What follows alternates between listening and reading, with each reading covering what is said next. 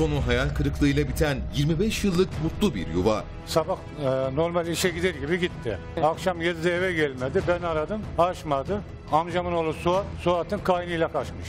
Yunus Yıldırım. Büyük yüzleşmede bugün ikinci perde. Son sözler söylenecek, konuşulmayanlar konuşulacak. Yunus Yıldırım'la beraber mi kaçtınız? Evet, kendi isteğimden kaçtım. Benim acelesim de belli. Benim bir işim olmaz ondan. Boşanmayı tercih ediyorum ben eşimden. Emel Hanım'ın kocası Haydar'la ilgili herkesi şoke edecek kararı sakın kaçırmayın. 17 yaşındaki kızı Esengül 17 Mart'ta, 15 yaşındaki kızı İrem 24 Mart'ta ortadan kayboldu. Bu kızların ilk kaçışı da değilmiş.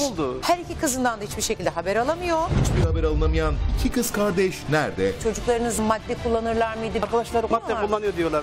Yoksa kardeşlerin başına bir şey mi geldi? Esengül'ün ve İrem Güneş'in kimlerle bağlantıları var? Büyük şüphe. Çetelerin ellerinde kurye olarak kullanılıyor bu insanlar. Bu satışlarda aracılık ettiriliyorlar. Sakın kaçırmayın.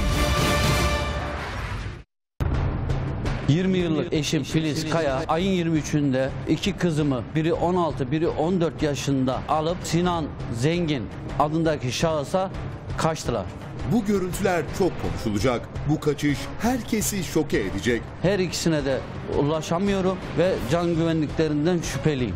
Murat'ın karısı Filiz iki kızını da alıp Sinan Zengin'in yanına kaçtı. Filiz bir an önce neredeysen çık ortaya. Sakın kaçırmayın.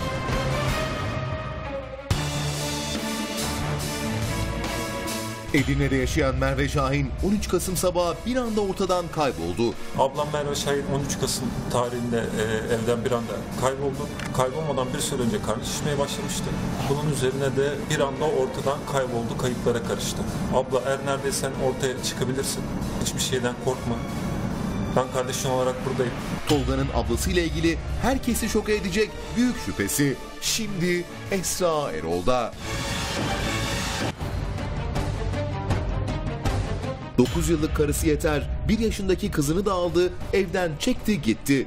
Eşim Yeter Uyanık'la 9 yıl önce tanıştık. Bu evlilikten iki çocuğumuz oldu. 9 yıllık evliliğin içerisinde bana defalarca ihanet etti. Ettiği ihanetlerde ben her zaman onu kanadımın altına aldım. Her zaman bağışladım, affettim. En son ihaneti de 2019 10. ayda Ercan Ediz diye birisiyle benim küçük çocuğumu alıp ona kaçarak oldu. Onunla birlikte olduğunu ispatladık. Resimleri de vardır. Ben küçük çocuğumun alametini bilmiyorum. Bir an önce ortaya çıkmasını, bir an önce çocuklarımın velayetini almak ve bu kadından kurtulmak istiyorum. Uğur'un isyanı şimdi Esra Erol'da.